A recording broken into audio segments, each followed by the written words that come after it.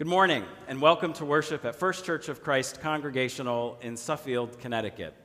The waiting is over, Advent is done, and the baby is born. Here on this first Sunday of the Christmas season, we're a little casual today as we celebrate the birth of the baby. If you are joining us from your living room with a cup of coffee surrounded by pine needles and wrapping paper scraps, you're in the right place. If you've tucked it all away for next year neatly, you are welcome here. And if the Christmas spirit didn't quite get to you this year, then you are in the right place also. Welcome to worship at First Church.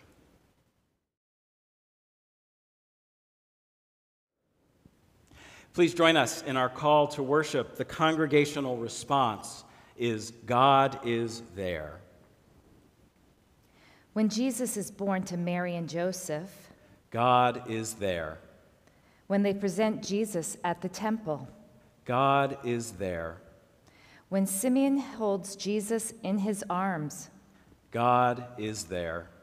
When Anna recognizes Jesus as the answer to prayer, God is there. This very morning, God is here. In the future, we cannot see. God is there. Let, Let us, us, worship, worship God. God.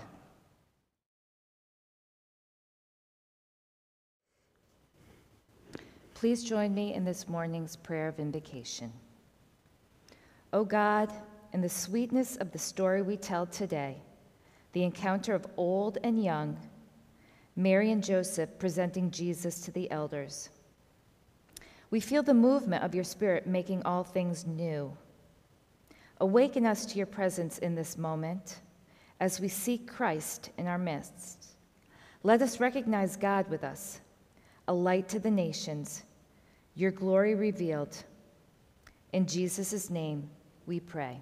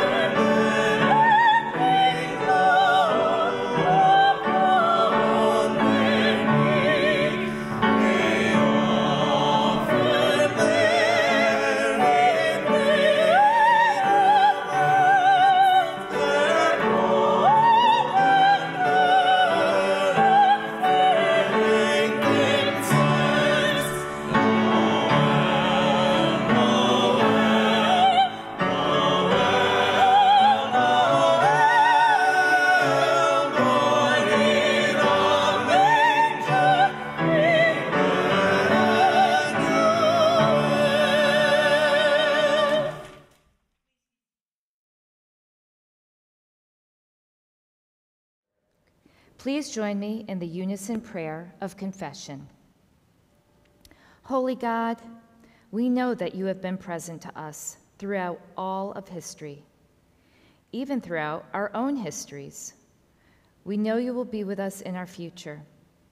Yet often we don't live as if we know that. As Simeon recognized in Jesus the salvation of his people, we recognize in Jesus' way our own wholeness and health. Yet we often fail to follow. As Anna recognized in Jesus the redemption of her people, we recognize in Jesus God's saving grace for us. Yet, we often fail to rejoice and to share this good news. Forgive us, make us wise and joyful and strong, so that we live in the understanding of your never ending love. Amen. Church, receive now these words of the assurance of God's infinite grace.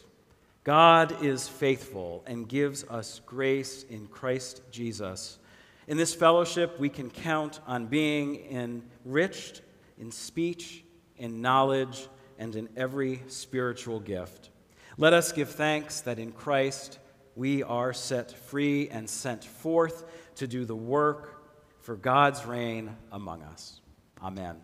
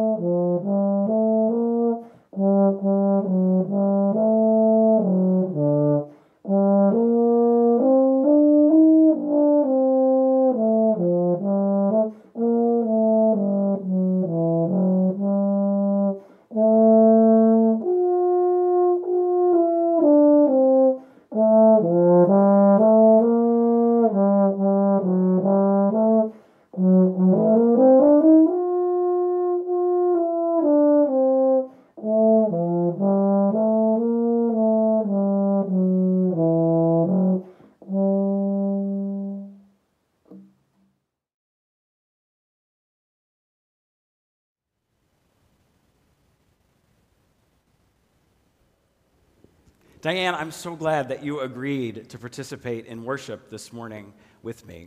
I hope that you had a really blessed Christmas. We did, David. Thank you. And I hope you did as well. Thank so, you for asking me. Oh, I'm glad you're here. How long is it until we have Christmas again? Oh my goodness, David, it's 363 days. That's a really long time to wait. Diane, I'm not very patient at waiting. Oh, David, uh, it's not easy to wait, and patience is a hard thing. Yes, it is. Let's take a look here at the nativity scene. I bet most of the kids at home, maybe you have one just like this we somewhere in your house. Mm-hmm. Um, and who do we have here? Let's see. I see. I see three wise men. Okay. And I see a shepherd. Yes, and I see the animals. I love the animals. And of course, Mary and Joseph and baby Jesus. There's two people missing from this nativity set that we're going to talk about today in our scripture and in the sermon. And they are Simeon and Anna. Now, Simeon was promised by God that he would live long enough to see the Messiah born. He was 112 years old wow. when Jesus was born. That's a really long time to wait. It sure is. I get frustrated when we have to wait, Diane. So, for the kids at home who maybe also are a little frustrated with wanting to get back to school and so many things that we are waiting to happen, how can we think of waiting as something positive and not negative? Hmm, well, let's see. Waiting, like you said, takes patience. And waiting is one of those things that we can't see and we can't touch and we can't feel. But we just, we have to trust in God, David. We have to trust that God will be with us when we wait, whatever it is we're waiting for. Um, and maybe it's going back to school. Maybe it's having a snowstorm. Waiting, it's for a baby brother or sister to be born. We just we need to wait and trust that God will be with us and help us getting through that waiting time. I think that's fantastic advice, not only for young people, but even for us grown ups, mm-hmm. that while we are waiting, we can trust and we can have faith and we continue to bring love to the world around us. Let's say a short prayer. Loving God, the waiting is hard. But now the waiting is over and Jesus is born, and we wait to see your hand at work in the world. Help us to be patient and to trust and to let God be God even while we wait. We ask these things in the name of Jesus. Amen. Amen.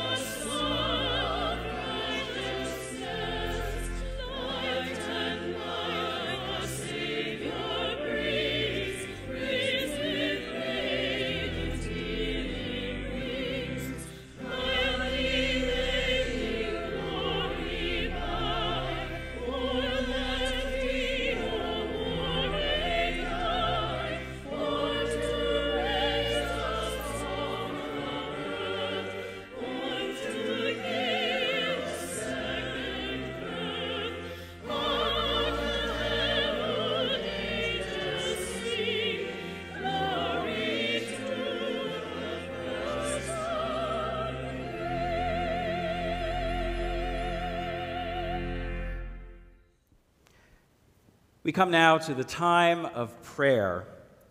If you'll join me in our pastoral prayer God of glory, your splendor shines from a manger in Bethlehem, where the light of the world is humbly born into the darkness of human night.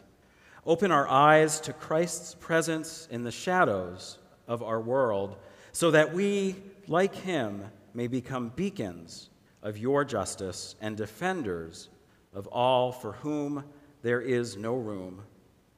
Nurturing God, we remember the exile of the Holy Family and Herod's slaughter of the children. We remember all who need our sustaining love. Hear our prayers for the church and the community across the world. Grant that all people may hear together the song of joy and find their homes in the garden of justice and hope, that we may experience the fullness of life, which is your will for all people. We ask these things in the name of the newborn King who grew up and taught us to pray, saying together, Our Father, who art in heaven, hallowed be thy name. Thy kingdom come, thy will be done on earth as it is in heaven.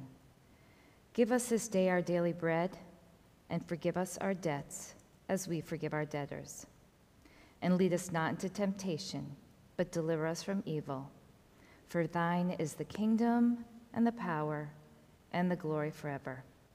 Amen.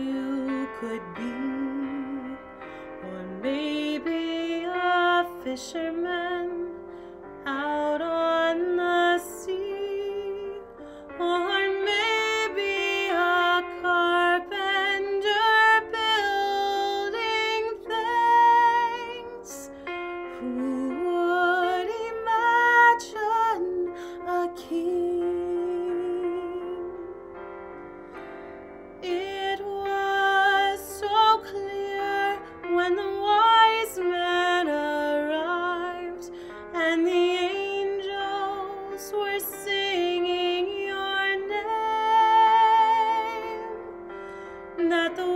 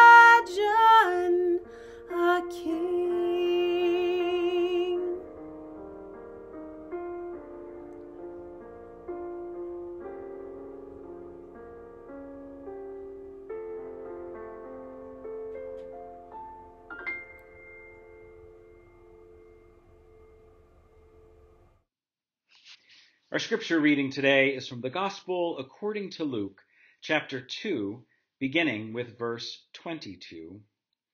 When the time came for their purification according to the law of Moses, they brought him up to Jerusalem to present him to the Lord.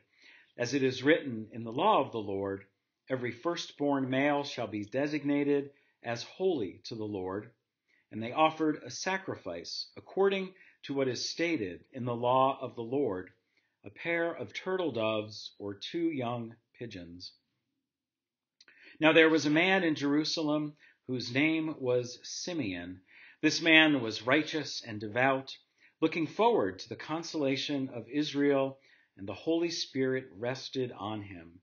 It had been revealed to him by the Holy Spirit that he would not see death before he had seen the Lord's Messiah. Guided by the Spirit, Simeon came into the temple, and when the parents brought in the child Jesus to do for him what was customary under the law, Simeon took him in his arms and praised God, saying, Master, now you are dismissing your servant in peace according to your word. For my eyes have seen your salvation, which you have prepared in the presence of all peoples a light for revelation to the Gentiles and for your glory to your people Israel. And the child's father and mother were amazed at what was being said about him. Then Simeon blessed them and said to his mother Mary, This child is destined for the falling and the rising of many in Israel, and to be a sign that will be opposed, so that the inner thoughts of many will be revealed and a sword will pierce your own soul too. There was also a prophet, Anna, the daughter of Phanuel of the tribe of Asher. She was of a great age, having lived with her husband seven years after her marriage, then as a widow to the age of 84. She never left the temple, but worshipped there with fasting and prayer night and day. At that moment she came and began to praise God and speak about the child to all who were looking for the redemption of Jerusalem. When they had finished everything required by the law of the Lord, they returned to Galilee, to their own town of Nazareth. The child grew and became strong, filled with wisdom, and the favor of God was upon him. Good morning.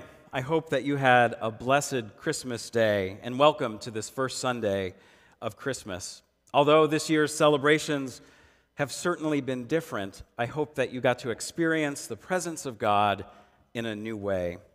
We're a little casual around here today, cleaning up and resting from the work that comes with the holiday season. Although we are in this pandemic, First Church has been busy throughout the Advent season.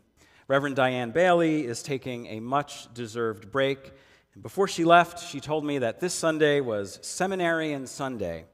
Well, I couldn't find that on the liturgical calendar, but anyway, I'm happy to be sharing this worship experience with you. And I'm grateful to our moderator, Diane Remington, for being so willing to be a part of today's service. In our story for all ages, we talked about waiting. And let's be honest, not just children, most of us aren't very good at waiting. In fact, we live in a world where instant gratification rules.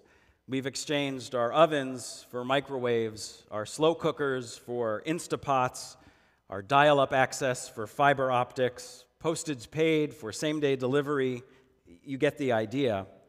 We want what we want, and we want it now. It seems like impatience is not only encouraged, it's valued even more than patience these days. But today's lesson is the exact opposite. Simeon and Anna are probably not the first people you think of when you're casting the Christmas story. In fact, they don't show up until 40 days after Jesus was born. You see, 40 days is the period that was required by Jewish law for a woman to go to the temple to offer a sacrifice for purification. In those days, the temple was everything, it was the presence of God. And Anna, who we meet in this text, actually lived at the temple gates. For the ancient people, the temple was the place where they encountered God. The practice of visiting the temple and offering a sacrifice is from the law, taken right from Leviticus chapter 12. And in Leviticus, we read that a woman should offer a sacrifice for her purification, and she is to bring a lamb. But if they are too poor, they can bring two turtle doves or pigeons. So we learn a lot from this. It's very telling. So we know that Mary and Joseph are devout in their Jewish faith, they're abiding by the law. And we know that they're poor because the gospel tells us that they bring two turtle doves for the offering. While they're on their way into the temple, a man, an old man named Simeon, stops them and proclaims to them that their child is the Messiah. Now, it's one thing to stop a person you haven't met and say something about how adorable their newborn baby is, but it's quite another thing to stop them and tell them that their child is the Messiah. As Amber sang, Who would imagine a king? Now, this isn't news to Mary and Joseph, but it had to be a wonderful confirmation of what the angels and the shepherds had already declared. Luke tells us that they were amazed. Now, not to mention, this is also a little dangerous to have this man that they don't know in the holiest of places declaring that their baby is the Messiah. But for Simeon, this is his dream come true. Simeon is an old man, and he has waited his entire life for God's promise of a Messiah. Most of the scholars put Simeon at about 112 years old. He has lived through the tumultuous history of his people. He has seen the Roman Empire's brutal control, a civil war, and King Herod.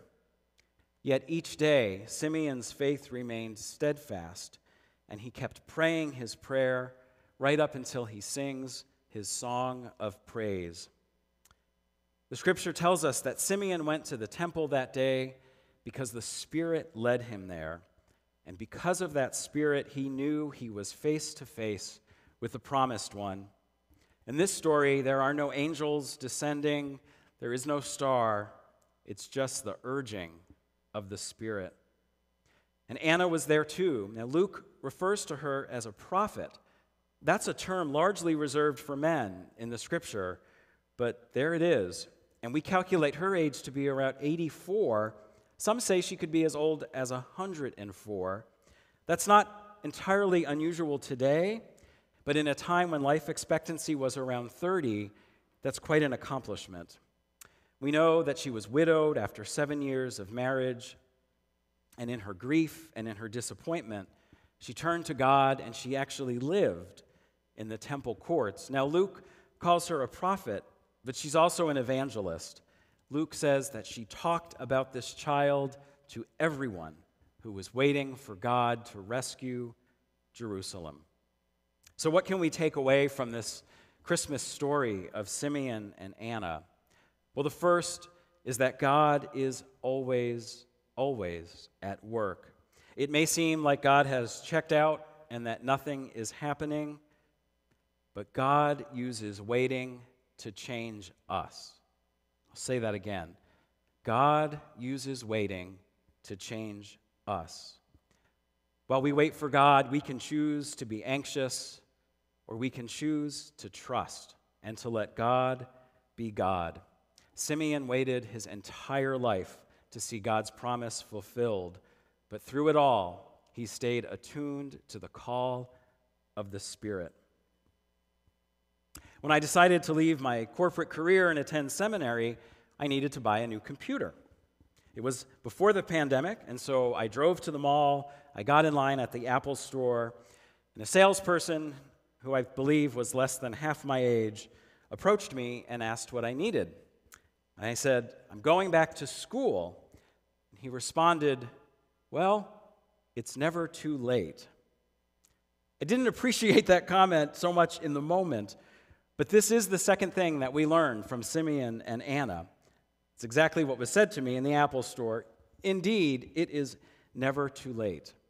In addition to speed and impatience, our culture values youth, but in Anna and Simeon, we see the value of age and wisdom and their ability to hear God's voice and respond to the Spirit's urging.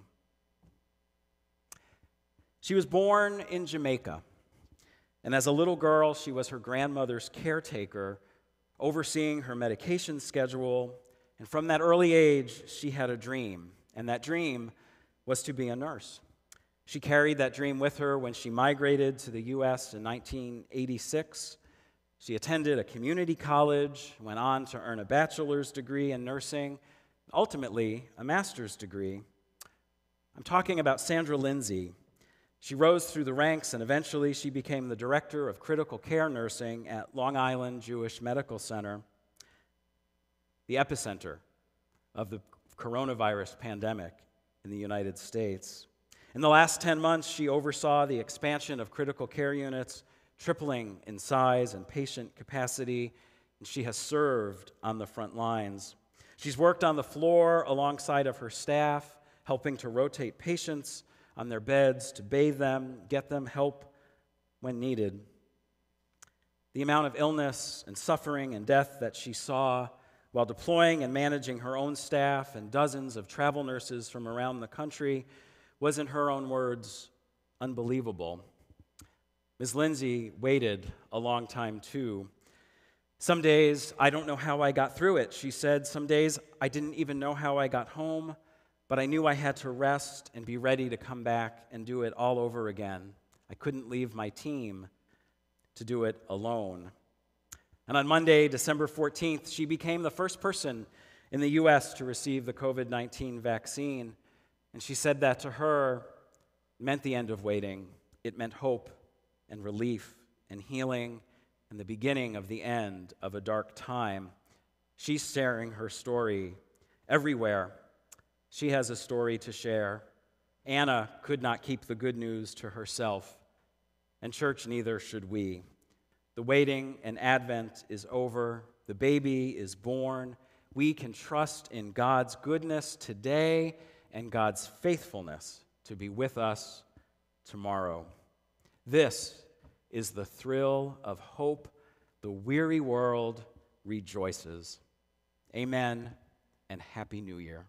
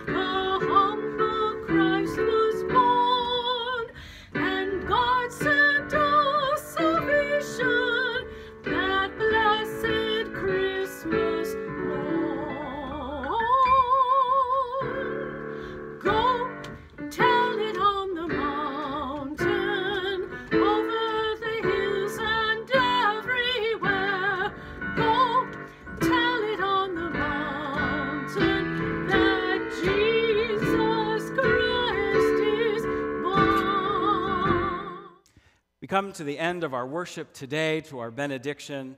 Church, our job is to bring the light of Jesus into the world, to bring hope everywhere we go.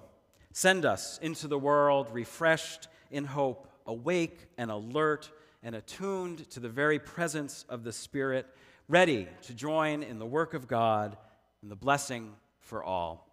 Amen.